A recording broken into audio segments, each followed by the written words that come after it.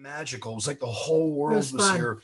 Uh, they closed historic Main Street to cars, so it was just a, a pedestrian plaza, and you just hear languages from all over the world as you walked up and down the street. Um, so there, yeah, there's there are a lot of amazing things that happen here in this little town. Hello, welcome to this episode of the Hip Spotlight. Today we're talking to Lisa Needham and Rich Wyman, singers, songwriters, performers, and band leaders from Park City, Utah. Lisa is an actor and a monologuist, as well as a vocalist whose pop style incorporates elements of jazz, blues, and American musical theater. Rich is a singer and a piano player with a long and varied solo career that includes many world tours and a second album produced by the late Rock and Roll Hall of Famer Eddie Van Halen. Lisa spent many years as a singer in Rich's band, and they decided to team up, and first in a group called Park 88, referencing both Rich's instrument and the city that they're from, and more recently as Rich Wyman and Lisa Needham. They've put out several singles uh, and toured theaters across the country in support of the Gypsy Kings. Uh, uh, it's nice to see you both. Thank you for for uh, talking to me today. I appreciate Thanks it. Thanks for having us, Tris. What uh, I, I like to find out about the intersections between people's musical careers and where they're from and what's important to them. Uh, what brought you both to Park City? Are are you skiers? Um, do you, no, no, really. I I grew up skiing since Uh-huh. I was young, and then Not so much me. not so much, but he started skiing, and we actually came here on a trip with a friend who wins everything, and she won a trip for four. everything. Uh, you have a friend that ski wins everything. lessons, Yes. rentals, you name it, Yeah, and we- brought us. we were living in New York City at the time. That's where we met, and um, it was it was a trip for four from New York to Park City. That's how we discovered Park City on a ski trip. And one night we crashed a bar and he got up and played the piano and the owner said, Hey, you want to come back and play for the summer? And So I went back to New York, got my motorcycle, and rode out here on my motorcycle. Uh huh. And um, I spent I spent the summer playing at the old train depot in Park City from the 1860s, I think. And they had a piano, and it was just a blast. Uh, and fell in love with uh, this town. Went back to New York, uh, recorded my first album, brought Lisa with me for that ski season of '91, and we had a round trip ticket. And we never used the return. Uh huh. yeah, we were like, let's just stay for the ski season and see what it's like. Cause I loved it too. I uh I grew up skiing in Vermont. I think I just had this idea that ski towns were the coolest places in Uh-huh. the world. And I think I always wanted to live in one. In Look, Par- look what we Yeah, manifested. and Park City, that was 30 years ago. You know, Park City was a lot cooler then. It wasn't uh, um, the multi, multi million dollar mansions all over the place. Uh, Sundance Film Festival hadn't blown up, the Olympics hadn't come. It was still a very cozy, small, cool, um, great little town. You know, Still is. we still love it. Yes. Uh, so Lisa was. Uh, where in Vermont did you grow up? Place in Sugarbush. Ah, yes. Okay. All right. And Well, then Sugarbush bought Glen Ellen, was it? Became Sugarbush and Sugarbush North and Jersey City. So I've been Jersey all the way. Um, Princeton. Princeton. I love Princeton. I was just in Princeton yesterday. Uh, Jersey. Um, uh, Jersey is not really a ski spot, um, but No. my understanding is that uh, Park City is now the number one ski spot in in America. That if you really and that the skiing there is considered to be uh, on the level of any skiing any place in the world. And in addition to Sundance and the Olympic history 2002, and it looks likely that Utah's going to get the Olympics again, which would be more action for Park City. It's a small town that punches incredibly high, incredibly far above its weight. I mean, that is really extraordinary when you think about it. And it Mhm. must be a very singular place to make music. It must be a very interesting place to interact with fans uh, and to base yourself, base all of your activities out of. Uh, I could see getting getting you know, a, a, place that you might fall in love with. So much must have changed in the past 30 years that you've seen change. Yeah. Oh, yeah. Uh, you know, when we moved here, um, I played like seven nights a week during the ski season, sometimes two times a day. I mean, uh-huh. there was so much work for a musician, and there still is. There's, there are a lot of places that have musicians. Uh, every hotel, restaurant, bar, you know, there's live music in a lot of places, and that's really what uh, also kept me here. Um, and then during, you know, um, during Sundance, the the whole world uh, creatively kind of comes here, you know. So it's there's a lot of creative energy here. Last ten days of January every year, and um, we've played a, a, million shows during Sundance. Um, there's there are a lot of creative people here, um, and uh, and the Olympics as well. You know, when the Olympics came, um, we opened up for Alanis Morissette, the Goo Goo Dolls. Um, plus, I did 24 uh, events throughout the Olympics, uh, corporate events. Um, they had stages all over the mm-hmm. place. It was really magical. It was like the whole world was, was here. Uh, they closed historic Main Street to cars, so it was just a, a pedestrian plaza and you just hear languages from all over the world as you walked up and down the street. Um, so there, yeah, there's there are a lot of amazing things that happen here in this little town. The town itself has not changed population wise. Uh-huh. It's still a town of 8,000 people, same as it was when we moved here.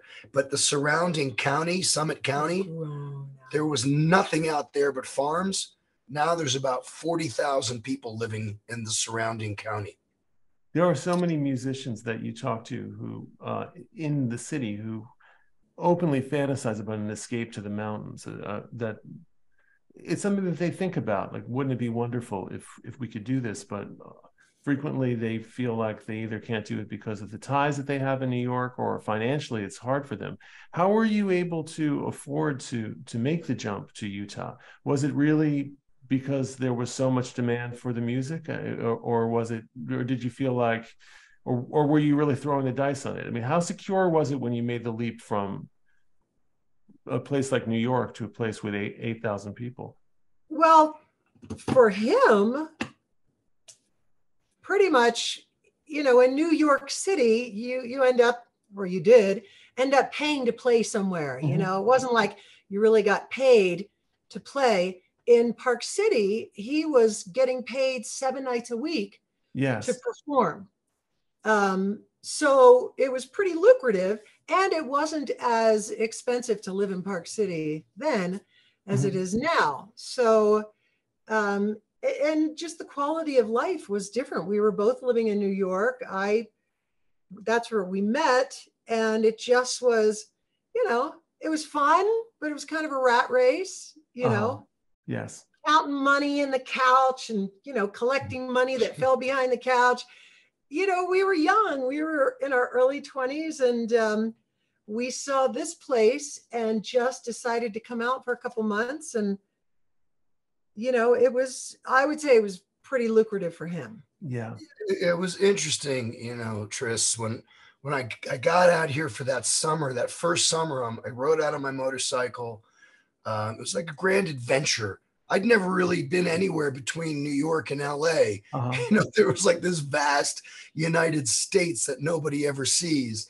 And um, I came, I rode out on my bike. I remember I rode straight up to the depot, which was on Main Street. And I started playing the next night. And I'd play every week, Thursday through Sunday. That first weekend, it was kind of empty, but great, cozy vibe. But then the, um, the local newspaper came and did interviewed me and on the front of their art section they did a full page story uh-huh.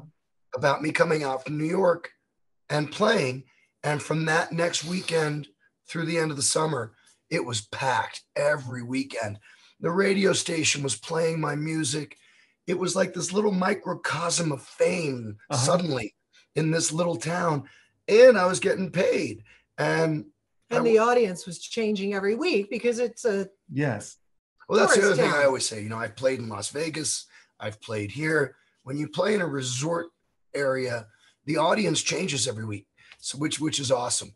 Um, so I went, we I went back to New York, and like I went back to I was a bike messenger.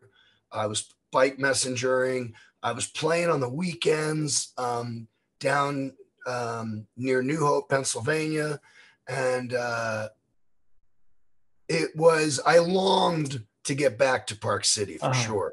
It got under my skin. You know, Utah does that. Utah gets under your skin, and um, so uh, it was uh, it was kind of tough going back to New York City to the the rat race uh, life. Um, and when we came back out to Park City, Uh, that second win for that winter, um, like I said, I was playing every night of the week. yes. Plus, I was playing après skis. The money was just pouring in. And then the following winter of 92 is when I met Eddie Van Halen. Mhm. So I really had only been here like a year when that happened. And that just, um, everything moved out to LA at that Mhm. point, you know? Yes. Well, we didn't.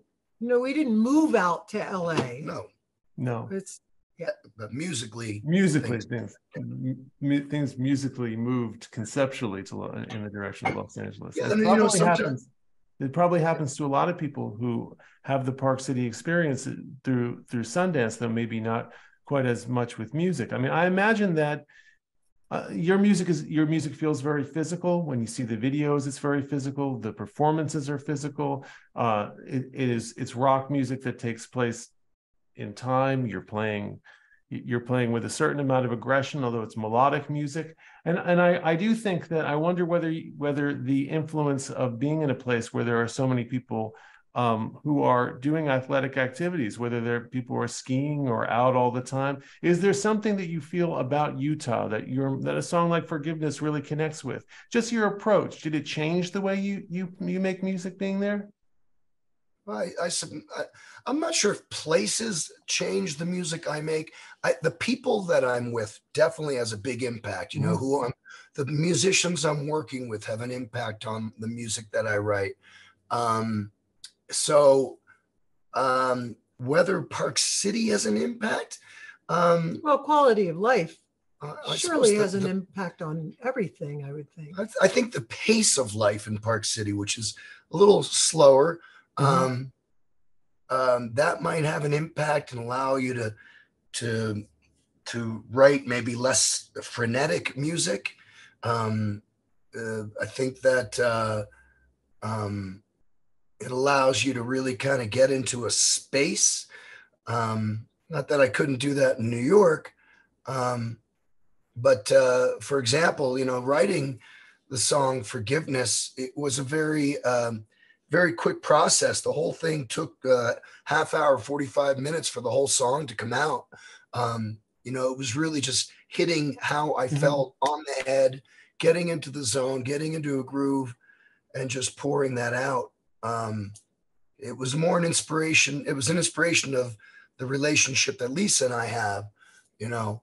Um, and uh, so, yeah, I don't know if that answers the question or not, but uh, yeah, it's it's. Uh, I mean, a song like "Fugitive Dust," for instance, uh, I think is a song that seems like it was. It, it's it's it's grounded in no, quite literally in the soil of the place that you're from. It's like it, it is in a way, in a way, a kind of a message song. It's something Oh, that yeah. you kind of want to want to say about the place that you're from and the connection and, and the effect that it's had on you, perhaps.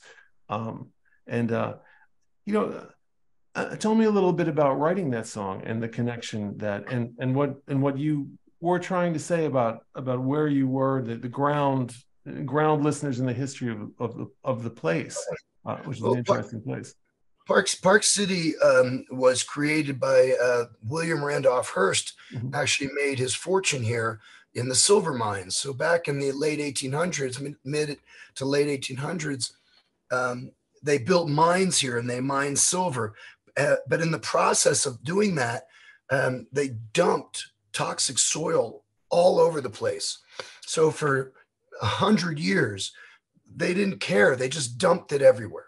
And Yeah. now, now didn't know any better. Yeah. yeah, they didn't know any better. So now that this the Park City has become this world famous resort and people live here, they're literally living in a toxic area. Uh-huh. And any and so what happened was a couple of years ago, uh, I've been involved in a lot of causes. That's one of Uh-huh. the things I also love about Park City, Tris, is going to city council meetings and speaking to the mayor and the city council. and You get a few people and you get involved in issues, and you can actually make change Uh-huh. in a small town. And this issue that came up was the mayor and the city council were trying to fast track a hazard a hazardous waste site right as you come into into Park City. Uh-huh. So you got this beautiful mountain vista, and they wanted to put a hazardous waste site there to dump this toxic soil. So as people are building hotels and houses and they dig up the earth, they got to move it and dump it there. And me and a bunch of other people, including the former mayor and the current Summit County councilor and a bunch of environmental activists, began protesting the process. process. And in my research, I spoke with the executive director of Heal Utah, which is the Healthy, Healthy Environmental Alliance of Utah, Uh-huh. based in Salt Lake City. And he was discussing the problem of fugitive dust. And I said to him, wait a second, what did you say? He said, fugitive dust. I said, that sounds like the name of a band. I love that. What It is- does. he It does. He said, anytime you have a disturbance of soil, whether it be a, a mine or a hazardous waste site or a dry lake bed or road construction, the dust that gets blown up into the air is called fugitive dust. So we discussed the dangers of fugitive dust at a hazardous waste site Uh-huh. and and I literally had a show that night. It was a Saturday, and I had to pick up my car at the repair shop, which was a few miles out of town. So I got on my mountain bike. So I literally wrote the bike, rode rode the bike, and wrote the song Uh-huh. while I was Yes. riding the bike, because the the the the trail takes you out through the toxic soils Yeah. and I'm riding surrounded by wide open space because you're not allowed to build out there because the soil is so toxic. And I would I I I started writing. If you're ever in Park City, long ago the, t- the Yeah. mines went bust. The town was jumping, everybody was dumping, and now when the wind blows, Yeah. you got fugitive dust. And I immediately put it into my into my phone, and I'd ride a couple hundred feet. And boom, I got another one. And like I just wrote verse after I'd stop my bike, sing a verse, stop my bike. And I wrote like 20 verses. And then when I got home, I sat down at the piano and put it to this kind of New Orleans um, gr- groove. And then we had a show that night, and I brought the the mayor, the uh, candidate for mayor. This was right before the election. Uh, Uh-huh. Two candidates for city council that all came out opposed to this haz- hazardous waste site. This was front page news for weeks here, and they got up on stage, and we did the song live that night twice. Uh-huh. funny. Yeah. I even had a bag of uh, flour, and at the end of the song, I blew it into the air. Which the people in the front row were not very happy about. and yeah. we, we finished we finished the night now i said to my drummer i'm going on tour in five days we got to get in the studio now so we booked a studio two days later that monday Mhm. and we recorded all the tracks immediately two days later and the song was released within i don't know a month or two and it got banned from the local public radio station Did it really? Why was that? Was it just because of the they felt it was too hot, the su- the subject matter? They said it was too hot, too political, and because the last verse I say, um, we'll have a drink at the boneyard, Yes. uh, because it's public radio, they claimed oh, they yes. couldn't mention a local business. I see. some, something like that. That but then seems the like an excuse to me. It was it was lame. I was not very happy. So we contacted KRCL radio station in Salt Lake City, and they put us on, and they entitled the interview the song "Too Toxic" for local radio. I see. Yes. And I'm sure there's there's concern about that in Salt Lake City as well because there's concern about the Great Salt Lake and and uh, and the water levels. I know that that's a that's a, a national story concern about the water level. So you know, it- it is, but it's there's going to be so much runoff. We're now we've had so much snow. I see. Now it's starting to melt. So it's not going to fill all the way up, but it is going to keep it from being so toxic. So that's Uh-huh. a good. But fugitive uh, fugitive dust is not just a Park City issue. Mhm. Uh, so it, it's I hope that song resonates with people all over that Mm-hmm. they wake up to the dangers of um, what's going on around them environmentally. Yeah. Well, in a place that's it, it's funny, a place that's as beautiful as as the Rocky Mountains, there you run into the, the concern for the environment is right there for people. So it, it, it can be easier to have the open up those conversations. And op- which brings us to to the single forgiveness, which is opening a, a different kind of conversation. Uh, Lisa, how did you feel when you heard the lyrics to that song? Did did did those did it did it work? I mean, did did it did it make a, did it change did, did it change the way you were feeling? Um, we had gotten into an argument, and um, it's funny, we were just answering some questions from an interview yesterday. Mhm. Uh, and it said, What, how do you go about, you know, forgiving someone? Or what was the question? Um, If someone cuts you deep, how do you f- forgive them? and um, you know we kind of hash it out it's it's like i'm a yeller i'm like wait a minute wait a minute you're not listening to me and i get louder and louder and richard's like stop yelling so, so he does this backing away and i do this coming forward so we both have to we know that i have to pull back a bit and he has to keep coming forward a bit so Mhm. that's like But what did you think of the lyrics? Is what it asked. well i'm getting to it Okay. um, so we gotten into a fight and we hashed it out and it was coming down a bit and i just was like i, I gotta go you know we need some space so i left and when i came back in the rich wyman style like that he always creates in he went to the piano he was angry and upset and um, wrote it all out and by the time I got back, um, he said, I wrote something. You know, he was just so like, I want you to listen to it. And I sat down next to the couch and yeah, it was like a beautiful, it, was like had somebody had written you an apology letter and just read it to you. But this Yeah. was played it for me. So of course, you know, I there were moments where I cried in it and moments where I laughed in it because sometimes when you connect words to in your lyrics, it, it can be pretty funny. And we Mhm. laughed and um, hugged afterwards, and I loved it. Of, of course, I mean, who doesn't love a song written about them? yeah. He writes songs about me all the time, and it's just, it's beautiful. So, Yes. yes, it was a good and fugitive dust. Fugitive Dust is not about me. Lisa, do you return the favor? Do you write music uh, about your husband? I- Is or is it something that do you? Well, yeah, you know, writing actually together is something newer. So we've only been doing it maybe seven years.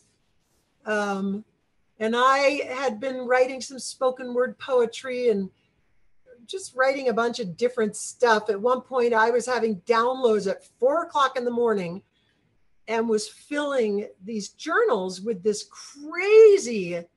I'd never really written poetry before, but it was rhyming. It was, I, it was amazing. And after like months of that happening, I created this poem, and then I went, ah, this sounds like a song, and I kind of put it and doubled the um, chorus up again, and I went to him and I said, look, I need you. I, I wrote this song. I need you to write to this. We had never written together.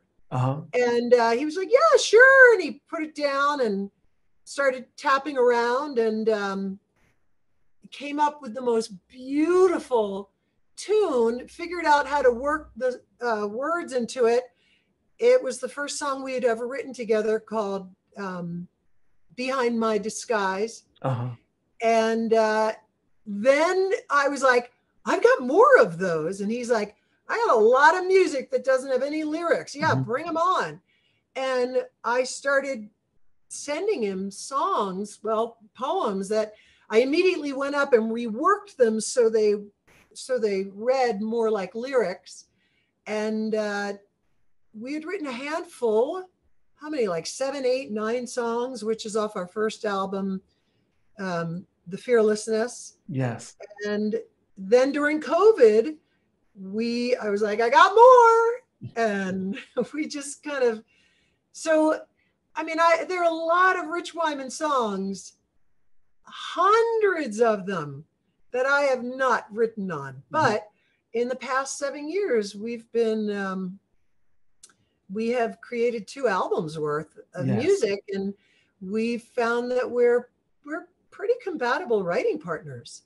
But you had long, for a long time uh, been singing well, with the group for many years. You were you were doing Yeah. So when we when we lived in New York, I mean, I went to New York to study theater. I went to Mhm. school in Emerson, and when I moved to New York, um, I And I do want to talk to you about your your show because I know you have a one. Well, I was studying method acting, and to me, because I had always been into theater, but singing had been my fallback Mhm. gig. That was like, if the acting thing didn't work out, sure, I could sing and probably make some money. But the acting thing was at the top of the list. So I was studying method acting and uh, in some pretty intense um, courses. And then I met Richard, and uh, we just started. I guess you described it as you heard me singing in the shower one day. Uh-huh. Um, okay. What was that? You uh, I just the way I described it in that last interview was I remember I was I was just playing a song um, on my keyboards in my apart in my apartment, and we had um, kind of moved in together at this uh-huh. point. she uh, she just started singing along, and she has an incredible talent for finding the most incredible harmonies. So the fire and ice thing is really nice, and Mhm. the and the, and the harmonies she comes up with are just ridiculous. And I just would remember the Hmm. first time she sang with me, I was like, "Whoa, that's incredible!" Yeah. So then he, because he had a band and played around the city. Thank you for that. and uh, he started bringing me up on stage. So we would, in the apartment, I would really start to memorize his uh, music that he had written, which I loved. Um, and he would start bringing me up on stage, and I would sing harmonies. Mhm. Um, yeah. So that's kind of how it started happening. I, I would say her, her voice gives my music a lift.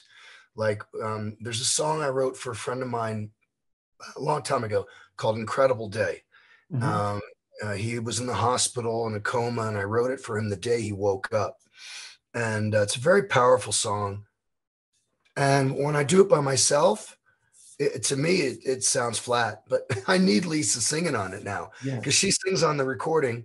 And it's incredible because people will come and see us play. And when they sing along, they don't sing the melody. They sing they the sing her they sing her harmonies. It's incredible. It's funny. Well, but that's nice to be able to. I think a lot of people, when you play solo, want to sing with you, but when they sing the same note, there's something missing. So when they can sing the harmony and they have no idea they're singing harmony, Uh-huh. um, I think it's pretty magical. Yeah. So Well, she she it's and that's one you know I wanted to bring her up to share the spotlight with me. Uh, you know, I look at uh, I did ten albums before we did our first duo album, and she sings on every one of those that I produced, Uh-huh. and the one that Eddie produced, she sings on. Um, the ones I did over in Europe, they used all European musicians. Um, but I realized going over my catalog, she deserves to to come out of the come out of the shadows, you Mhm. know. Yes. Well, also, we had right around the same time we started creating songs. We were like, well, let's do uh, what? What do you? Maybe we could someday. We kept thinking someday do a duo, you know, like um, our own stuff, but on, a, on an album. And then we became empty nesters, and we were like, gosh, we have a lot more time Oh yeah. the kids were gone and uh, let's start really focusing on it and we decided to become a duo uh-huh. So Right. that's how Yes. that happened but you've been on, uh, but you have been singing together for uh, for. Oh, we've been together 35 years. Did Yeah. you go to Europe uh, on those European tours in the '90s and 00s with with Rich? Were Were you part of the group at that point, or did you stay? No, they uh when he he was going to Europe on tour. I mean, I would we had a family at that point, so we had two Right. boys.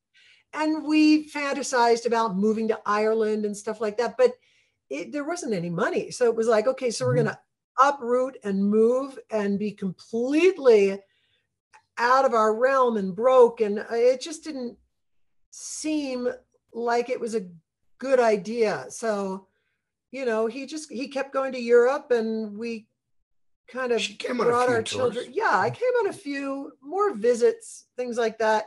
But Yeah. yeah, Um, It can be very difficult. Um, it, it it is a rock and roll cliche, but it it is because it's true.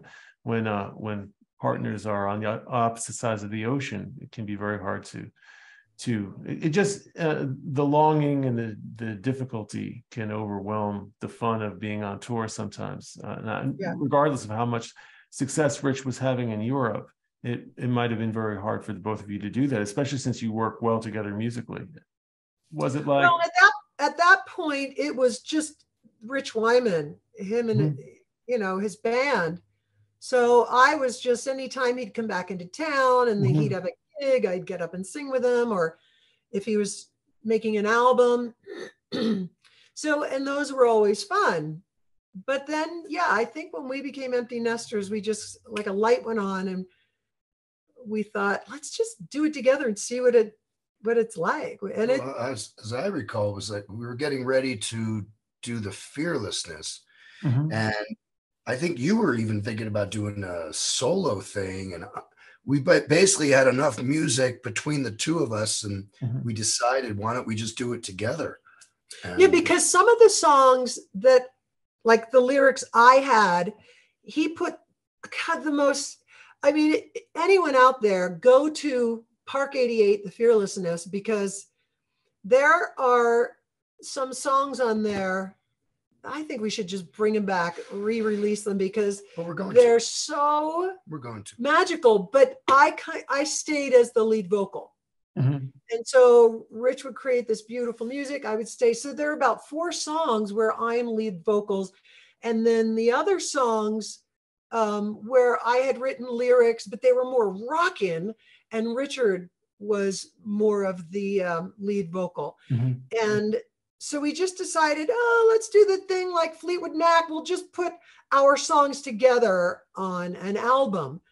And uh, then were you going to say we started working with someone who said, no, if you're going to be a duo, be a duo. Put her higher up on your songs and put him up on those songs and put it Uh-huh. all together Yes. And we it was such a confusing time i don't know about you but um I don't think it was confusing.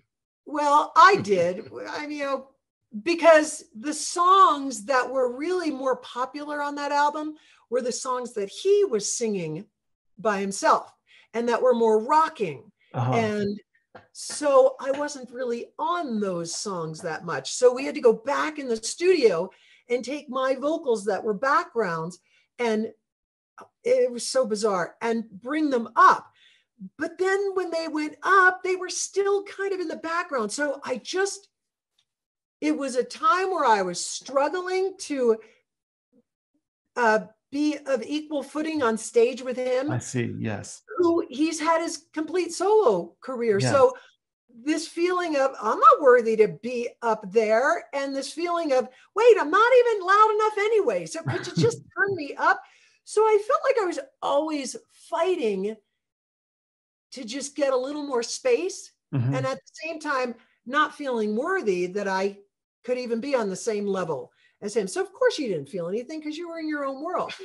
But um Okay. yeah, that was probably some of the hardest stuff that um but I did have this person going, come on, get her up there, let her be equal to that. You And I had, was like, you had your advocate. Was that the producer of the record? yeah, right. That Yeah. was me. Oh, No, no, that no. you. That was you. No, that wasn't you. That was Jonathan who was Oh, saying, was, uh, who was saying, no, no, let's not do separate in one album. We're going to bring her up. It was, it was the three or four songs that were the most popular, were the rocking ones Mhm. that he was on.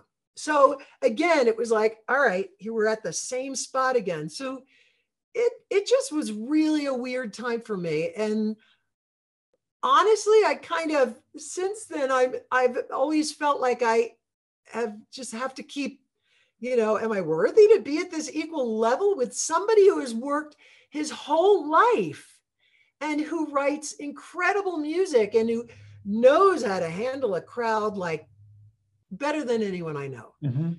And here I was moving from this support background, making it sound, you know, beautiful, but I was coming out in the forefront and I was like, no, yes, no, all right, it's my time. No, I mean, I mean, it was just, it was crazy for me. there there's a long rock and roll tradition of of uh you know of couples uh making music uh, more or less on equal levels i mean i think about richard and linda thompson come to mind or uh Mm. you know john and beverley martyn or were were in the, in the beginning of john martyn's career and like i guess there's always that that um that question, especially if the um, if for whatever reason the uh, the male partner in the couple is better known or has a solo career before, whether the female partner in the couple is it you know it, whether whether she's afforded the same respect. But one thing that I think is is very nice about the music that you've made together is that it really does seem like it's in dialogue. It really does seem like I mean, forgiveness is a good example of a song where it really does seem like it came directly out of a conversation and it really is about the relationship. So you can't really dissever that from the relationship right? Like that is a song that where you are introduced to these two characters at once which is part of what makes it cool. Because when you think about it that doesn't happen that frequently. It doesn't happen where you get both characters at once. Usually it's one perspective or the other and, and the other person's kind of is kind of imaginary but you hear both voices and there's a lot of imagination and, and a lot there's a lot of emotion in both of those voices. So you're kind of in the middle of a, of a you you get a window into into a conversation, and I think that that is what's cool about it is that is that you get that um, so infrequently. You you don't hear that very very often. So it's like you know, Rich, you must have been thinking about that when you wrote the song to some degree that this was going to be a dialogue or this is something that that that is going to be the two of you. Uh, that, that she was going to have her say on the song one way or another, like you know, I, I try to get my head out of the way when I'm writing, Tris. Uh-huh. You know, it's totally for me, just get the head out of the way, let the song pour out of your heart. And I don't really think when I'm writing, it just kind of comes out. Um, so I wrote the song. Really, it was uh, just me telling the story uh, about the situation and how I saw it. But it's, of course, once Lisa sings on it, then you, you like you said, it just opens it up Mhm. into oh, here are the two. The, they're both. I was I was telling the story that both of us were in. You know, Well, yeah, because there's that one part where you say, um, uh, just tell me if you're out with the what what's that um oh yeah. Just don't make me wait. If you're out, if you're out hanging out with the boys, whatever, give it to me straight. oh yeah so uh, i can't even remember the fight but i'm sure it was like just just tell me why why can't you just tell me I we would have avoided this whole argument if you would have just said something and so he threw that in from my point of view I guess so. if you're hanging outside with the boys just tell me what it whatever it is i can't even remember the words just give it to me straight. I'm singing on it and I can't even remember the words. Just give it to me straight. So you have uh there was another song that you had written way back. Remember the Tina and Andy days when um you you were in LA, you were working with Eddie Van Halen and I was home. We were kind of trying to get pregnant, which was a crazy time. But um you had written a song and it was from my point of view, Which I've done a few times. he got it on pretty close, not exactly close, but um, from my point of view, and it it just it's um It's where we stand. I think. it's validating. Yeah, Uh-huh. I think that was where Yeah. we stand. it's really, you know, there's nothing, there's nothing like when you're in an argument and we both try to be validating. It doesn't happen right away, but to really validate the other person on, regardless if you think it's right or wrong, or if you think you're right, to just validate somebody's feelings, like Mhm. it's okay to have those feelings. So let's talk about it. Yeah. Um, that's Lisa- important. yeah. Lisa, you were not, did you go to Los Angeles during the time when, uh, when Fatherless Child was being made? Were, were you, were you involved in those sessions or was that, was the Van Halen chapter one where you were? No, I did. I did there? go there, and we hung with Eddie and Valerie Mm-hmm. and their little guy Wolfie at their house. He was what four? Had they come to Park City? Had they just come to Park City and, and seen you guys That's rocking? Yeah, we Cool. met them in Park City. David Bertinelli, Valerie's brother, is uh, one of my best friends. I was best man at his wedding. Uh-huh. And um, he just said to me one day, um, My sister's coming to town. You want to have dinner with uh, my sister? We didn't even know And um, Uh-huh. he was Valerie's brother well, at that, at that point we did. But for the beginning of our friendship, I didn't know his last Uh-huh. name. for a long time. anyway, so they, uh, I said, yeah, and um, we had, we had dinner with Ed and Val at a friend's house, and it was very, very laid back. Uh, I was sitting on the floor with Valerie and Wolfie, who was just a baby at the time, and Uh-huh. Ed was outside smoking a cigarette, and I remember he came walking in and just you know a pair of ripped jeans and a flannel shirt, and kind of Mhm. came over and sat down on the floor. And this was all in Park City, and we all had dinner together. We hung out. We got to know each other. Very down to earth people, and I was like, I got. Not only was I late for dinner, but I had to leave early because I had a show that night, and I invited them to come see me play and they all came up to Main Street to this club I was playing at, and I just I played uh, one of my best sets ever, Uh-huh. and the place was You have to, right? word got out. This is pre cell phone, so word got out, word of mouth. Yeah. The whole place just became a sardine can back. Everybody knew that, but yes, okay, right. Everybody knew Eddie was there, and the t- it was like I had the hometown was cheering for me. They were singing at the top of their lungs. They were clapping and screaming, and it was a great, great. So it I'll was- never forget it. It was like the town sensed it was an opportunity.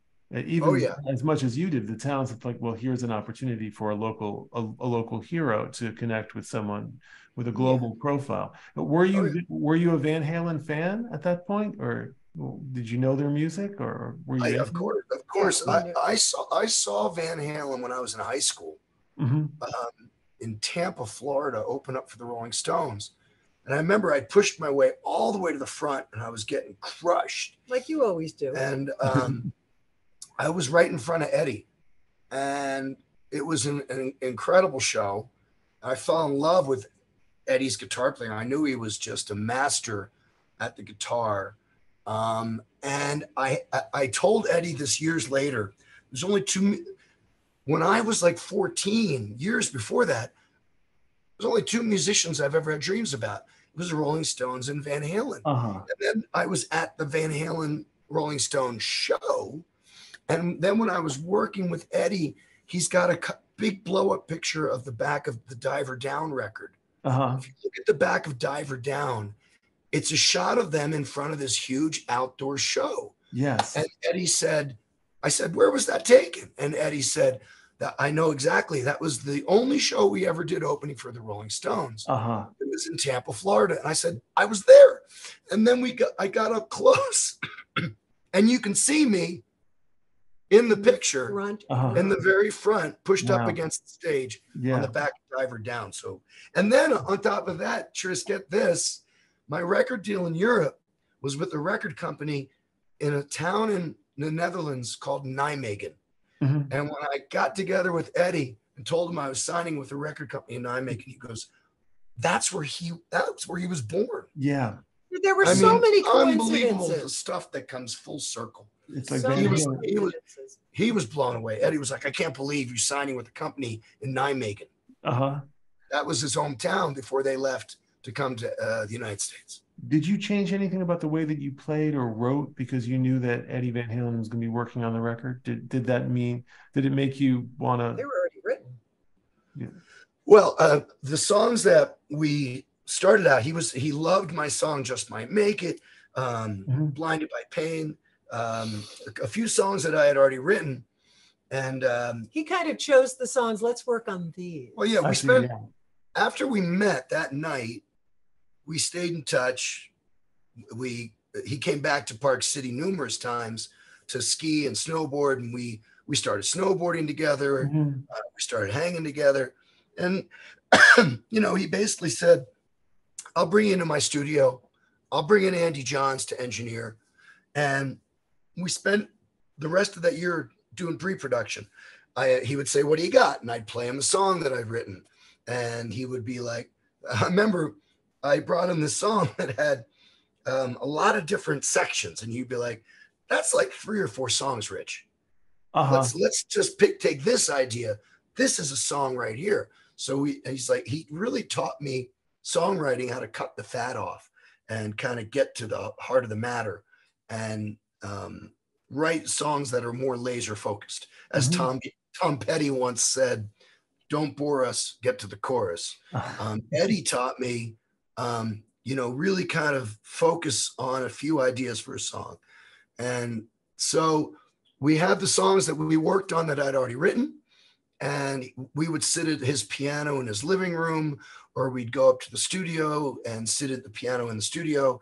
And we would just sit and I would play the songs, and he would kind of say, okay, let's cut that off, cut this off, shorten this, whatever.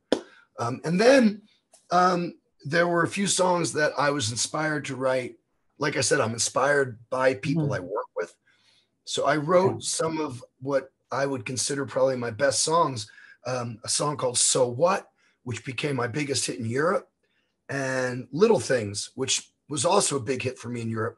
I wrote those while I was working with Eddie yeah. and he just flipped. I wrote Fatherless Child while I was working with Mhm. Eddie. And these these to me are iconic songs in my catalog Mhm. that were inspired by working with Eddie and Andy. Um, I remember when I first played So What and Fatherless Child for Eddie and Andy, just the two of them sitting at the piano, and they both put their arms up and they were like, goosebumps, goosebumps. Like, oh my God, these are like the best songs you've ever written, Mhm. Rich.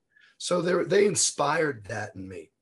Did did you feel um I mean your piano playing is you know you really can tell almost immediately from from the moment that you start playing on the record that you really you- you're very comfortable. You really know how to play the piano. Did did it make you feel more confident about I mean Eddie Van Halen comes out with a guitar and like there's there's no shyness whatsoever. Where I think a lot of times when you're a singer songwriter even when you're working in a blues context you don't always want to be showy necessarily. Did it did it you feel like it gave you more license to really stretch your stuff as a piano player? Like here's this guy who's an incredible guitar player and he's never never shy for a moment. And you I, I think really you know as as your records go on you know I, I feel like more and more the the, the piano becomes super central and you really show your stuff. Did, did eddie give you give you courage to really play like that? Oh yeah, um. Eddie. Eddie said more than once, "Man, I wish I could play like you." uh-huh Because he played the piano a 'Cause lot. he, obviously, you know, Eddie also played the piano. If you He's a listen, good to, piano player yeah yeah, like Yeah. listen to right now, yeah uh, uh, you know that song, the piano. That's a tricky piano part. Mhm. Um, but he was always uh, encouraging. The piano was he knew I could play the piano, and I had very I had a lot of confidence in my piano playing. Um, you know, when the band came in, we we laid down the tracks pretty quickly. The vocals are what he really spent day after day after day microscopically Mhm. analyzing and tearing apart in every syllable. And this Right. was again before you could edit with Pro Tools and stuff. So you had to get the take. You couldn't fix it later. So, you know, That's when I actually I would fly Yeah. in to do some background vocals, and I'll never forget. Was it the ah Oh, Blinded by Pain. Blinded by Pain, uh, which he does a ripping guitar solo on, all of them. Mhm. Um, he actually came into the studio with us, like he wasn't, he came out of the control room, came back, and all three of us, because he was like, we need another voice on there. And we just did three part harmony with this. Ah, ah. I mean, all three of us. It was just, it was such an amazing moment. Yeah. Yeah. He was very, very meticulous. Not so much my piano playing, like I could do a take and he'd be like, great. Um, the vocals, The vocals, he was he was right. extremely meticulous.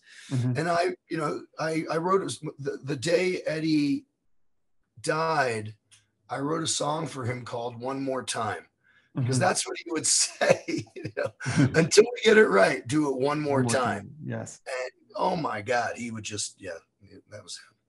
It, you know, when just thinking about it now, the the '90s were at that point in the '90s.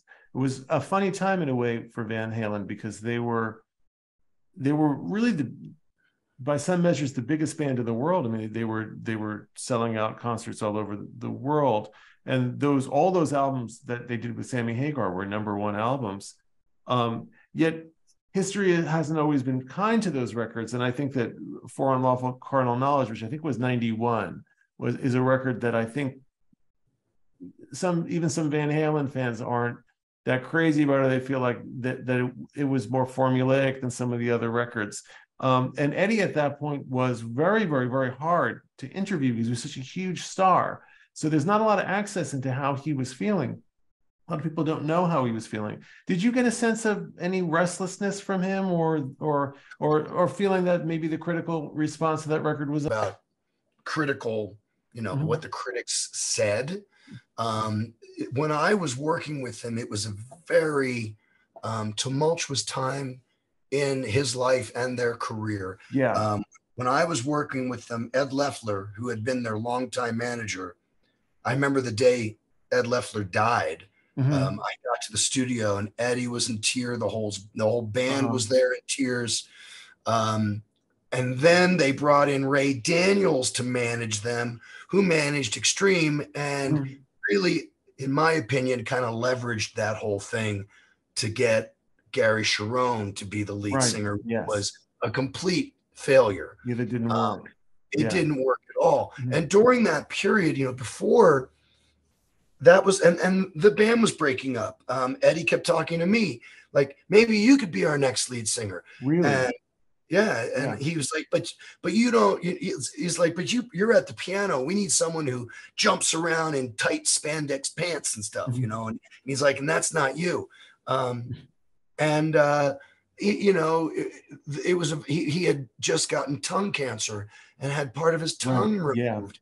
Uh, there, there were all these uh, clima- uh, uh, horrible things that were going on. Mhm. Um, his cancer, the band breaking up, his manager passing away. Um, it was, uh, in a way, you know, I feel like maybe working with me was an escape for him. You yeah, know, that he really, see that. Yeah, he spent, we we worked together for like three years yeah. and it was right during all of that. it seems like it was a great working relationship because he was playing guitar on the songs and then he probably felt really great to see you go to Europe and and have hits in Europe. It probably made him feel really gratified to see that happen. Yeah. Somebody who he had a personal stake in, um, just feel like, I mean, it must have felt like an escape. There's so much pressure when you're when you are when you talk to people who are at that level. Part of the reason why they don't do a lot of interviews then is because they just don't have time and because psych- there's no psychological space for it it, it, it's it's a it's a lot a lot of pressure and um you know it's cool and uh it, it's it's cool that that that you were able to do that and that you can kind of hear it on the guitar that he played on the record i was listening to it that it it feels very free you know it feels very if he he felt very and i'm sure he was just as meticulous about his guitar solos as he always was he probably recut them a million times but it does feel very free in a way that maybe he wasn't feeling like he had that outlet at that point. One thing I always remember when he would be in, because I was there a couple times when he would go in and Mhm. play the guitar, he'd have a cigarettes sticking in the guitar Yeah. strings, Mhm. and he'd have one in his mouth. And he'd also have one in the ashtray. I saw Yeah. him having three at a time. You know, It was it's such a great visual. I was just like, interesting. Yeah. yeah, well, he, he definitely, um, you know, liked his cigarettes. He was a great guy though. did you ever think that that Rich would join Van Halen or join with Eddie? Did, did did that did that worry you? Did it seem like No, I think I remember when when Eddie had I wasn't there, but when Mm-hmm. Eddie had said, you know, oh, lead, we need we're looking for a lead, and I was like, tell him you can try getting away from the piano for a couple of years. uh-huh. Why not? Just give it a shot. Mhm. So, it did seem exciting to you? It didn't seem like oh, if I could see it going either way, I could see it also being like, oh, well, you know, we're trying to we're trying to have a family here. It'd be hard to be hard to have you on the road for years at a time. You know, I guess I just wasn't thinking of that. Yeah. I was kind of thinking, well, you know, shit, if he's on tour with Van Halen, we have the money to just follow it or whatever, Yeah. you know? absolutely, yes, yeah.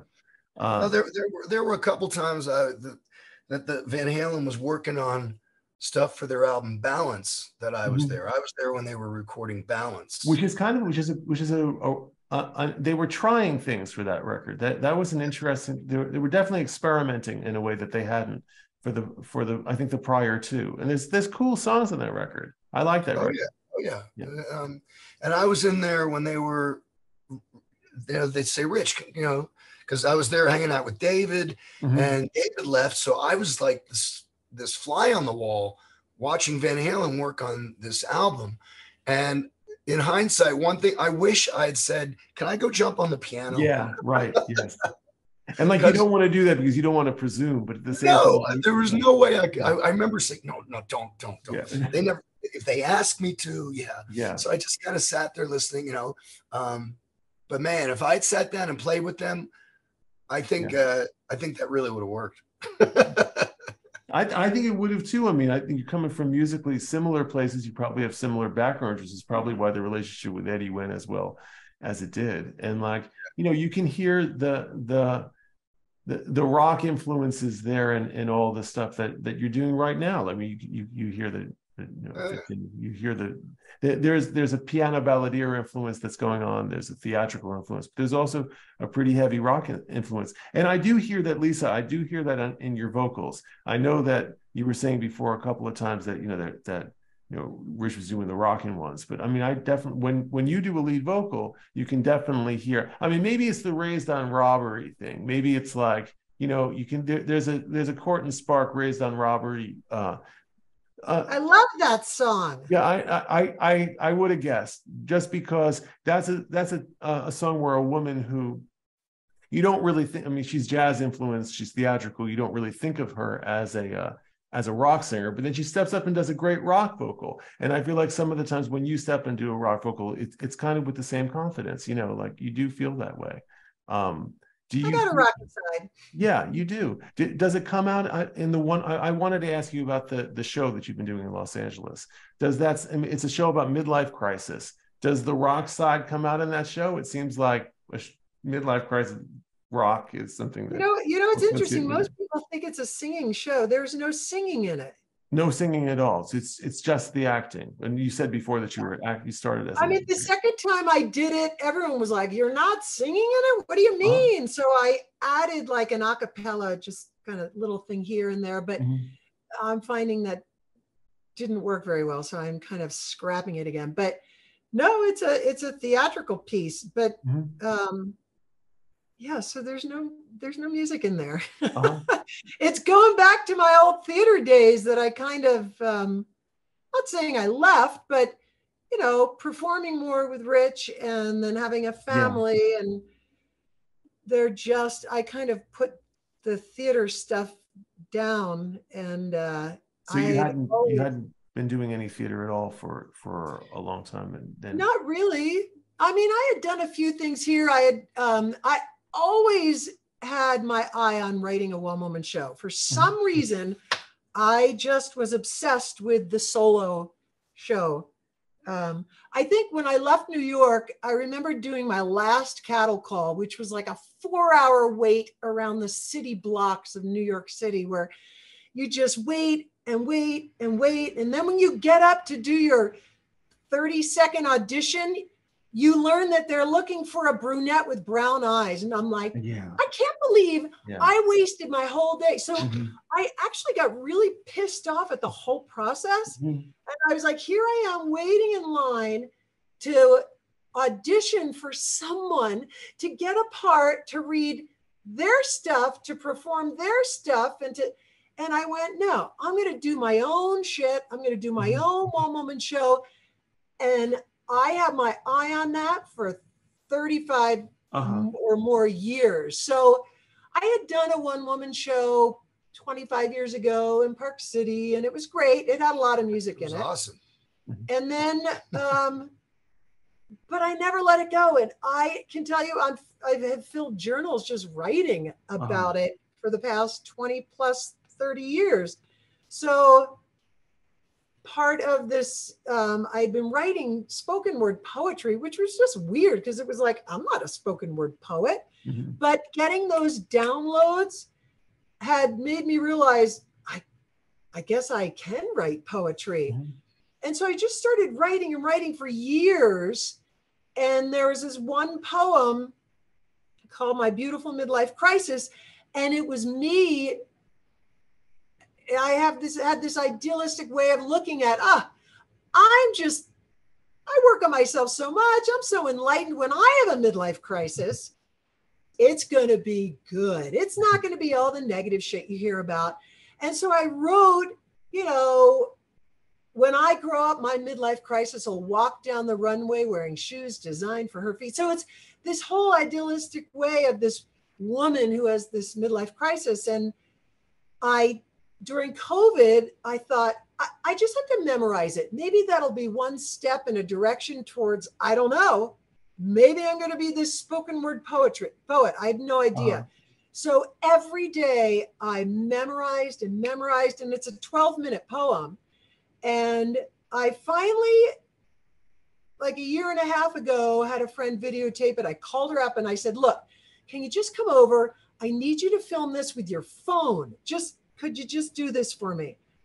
Did it, sent it to another friend who was living in LA who was doing uh, solo shows. And I said, What do you think of this? And she went, For a middle aged woman talking about a midlife crisis, I said, She said, that will fly.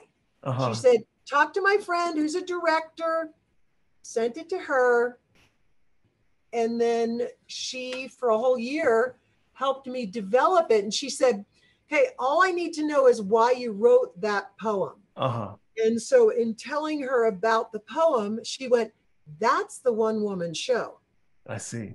is your story.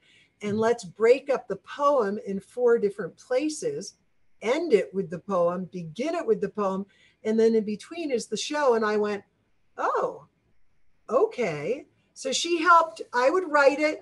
She would help me cut the fat and say, Mhm. Oh, I think you should. And she would constantly say, yeah, but what what's uh I need something deeper. What what what happened with you and Rich in that place? And I was like, oh, I don't want to go there. She was like, that's the shit that people want to hear. Mhm. You gotta. Are you bleeping me? Am I not allowed to say things like that on this No, I, podcast? I you're, you're not. I don't think you're getting. Oh, good. Oh my gosh. Now that I know that, my jersey can come out. I can be like uh, potty mouth, but I won't. Um, and so we worked on it for a year. And she said, Do you want to do one show or do you want to do the solo circuit?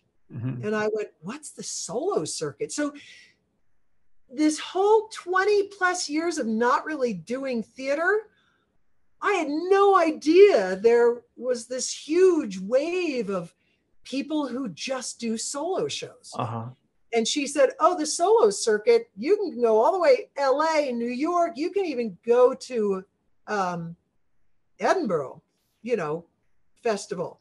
And I said, I want to do the circuit. Uh-huh. And so, yeah, we I've done two shows in LA and they're solo festivals.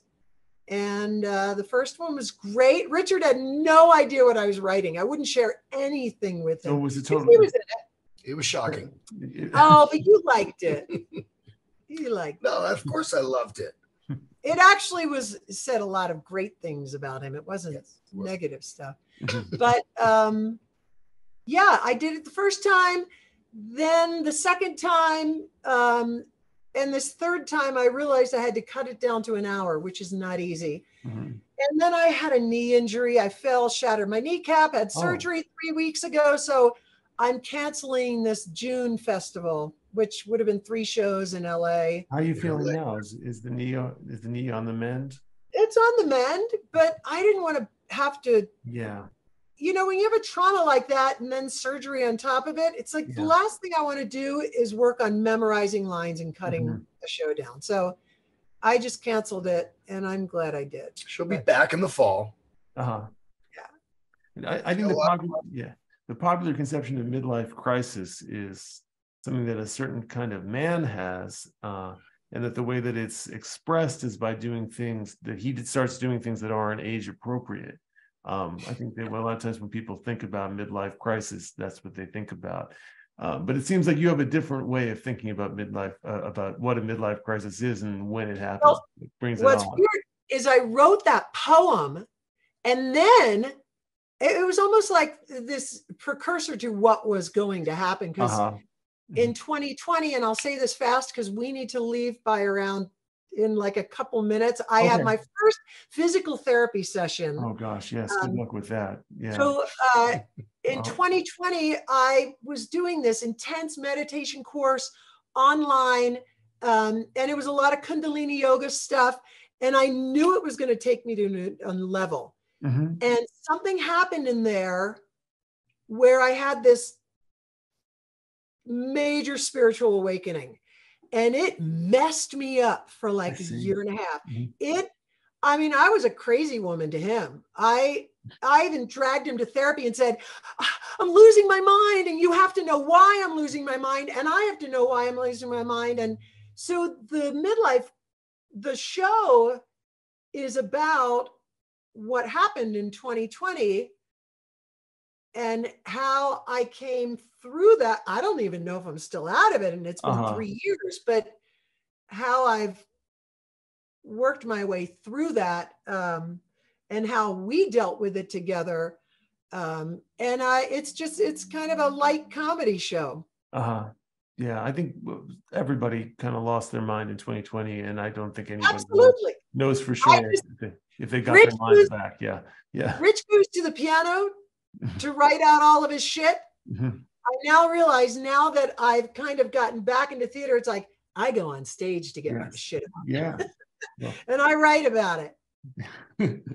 well, listen, thank you so much for taking the time to talk to us today. Uh, it's great. It's great to meet the both of you and to talk about your music and good luck in physical therapy. I, I know that can be that can be a real chore, but you know, they always tell you to like do your physical therapy, make sure you do it. That's the most important thing. It's more important than like whatever doctor tells you to do. So like Right. Well, Well, thanks for having us. We appreciate meeting you too. I, I appreciate talking to you and I'll continue listening to your music and please, I'm sure you'll continue to, to keep Andy and everybody at HIP um, apprised of everything that you do. And uh, Oh, yeah. Looking forward to the next thing. Uh, it, it's exciting to hear your music.